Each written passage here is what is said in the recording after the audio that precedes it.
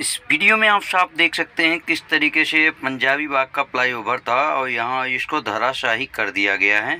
फ़िलहाल हम आपको ये दिखा रहे हैं, देख सकते हैं कि फ्लाईओवर को किस कारण धराशाही किया गया, ये तो पता नहीं चला, लेकिन दोबारा ये पुल का निर्माण किया जा रहा है।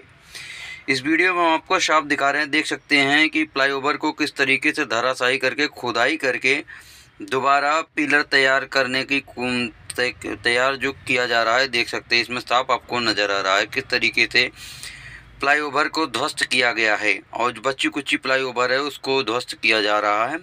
इस वीडियो में हम आपको साफ़ दिखा रहे हैं, ये दिल्ली का पंजाबी बाग है। यहाँ पे ये जो लाइन मुड़ती थी, काफ़ी सारा जाम लगता था, और इसके बगल में एक सीएनजी पंप भी है। जो आपको सामने साफ़ नज़र आ रहा है इस वीडियो में। और इस समय देख सकते हैं कार्य प्रगत पर इसमें कार्य जारी है और नया नया पिलर तैयार किया जा रहा है।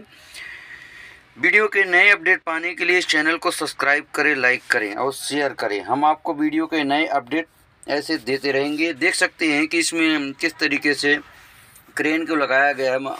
आधुनिक मशीनों द्वारा इस पिलर का निर्माण किया जा रहा है खुदाई किया जा रहा है। किस तरीके से पुरानी चीज़ों को काट कर हटा कर नई चीज़ों का निर्माण किया जा रहा है।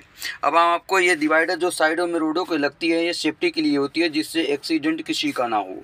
आशा करता हूँ कि हर जगह ऐसे ही सेफ्टी सुरक्षा को दायरे में रख कर कार्य किया जाएगा, जिससे दुर्घटना ना हो। तब तक के लिए मिलते हैं। जय हिंद, जय भारत।